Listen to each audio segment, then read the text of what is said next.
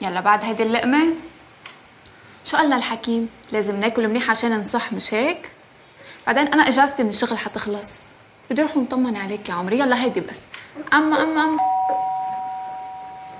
حشوف مين ورجع خد هيدي بعد.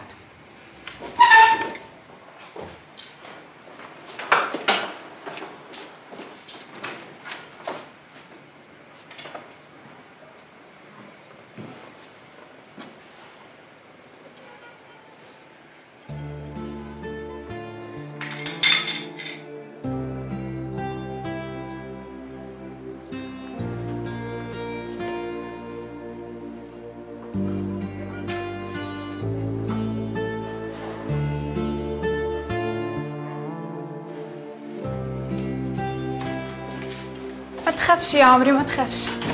اديني الشوكة وروق ورني الشطور أنا. ياه ده أنت طلعت راجل جدع بقى يا عم شادي كل واحد مش واخد باله. بس برافو عليك. عشان أي حد يقرب من ماما. أو أهل بيتك لازم تدافع عنه. هو هيجيبوه من برا يا فتحي. أنا جاي النهارده عشان أعتذر لك وأعتذر لمامتك على اللي أنا عملته المرة اللي فاتت.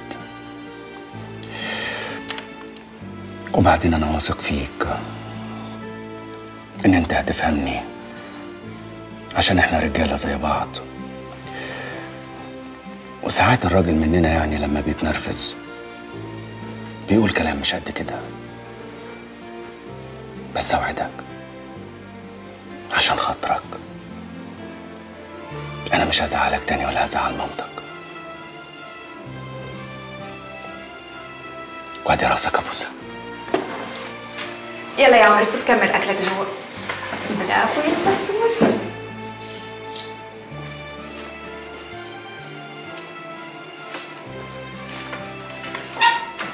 كان نفسي له قدامي بالنسبة له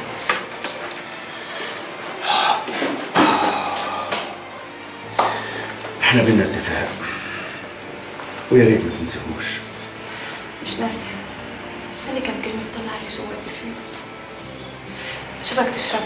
لا أنا مش جاي أتضرب. أنا جاي أقول كلمتين مش هقول أنا تحت أمرك. إيه ده؟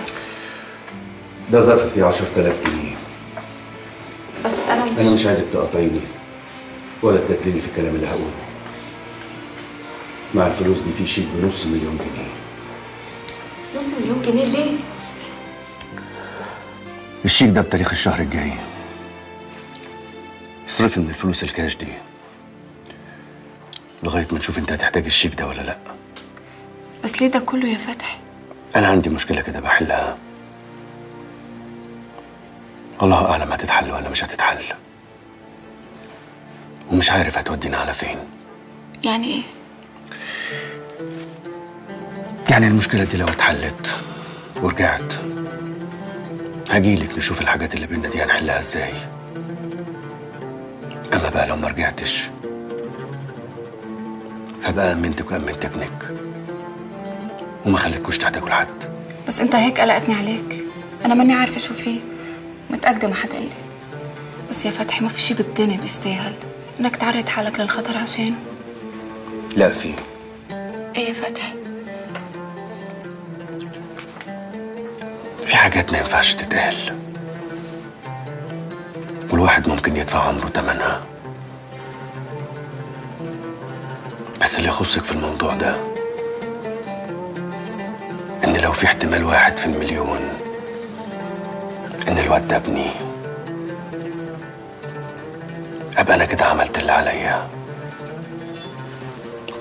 وأمنته. بس ابنك محتاج إلك مش للفلوس. هو ده اللي أنا أقدر أعمله دلوقتي. أما اللي هيحصل بكرة فده في علم الغيب. سلام يا بنت الأكابر.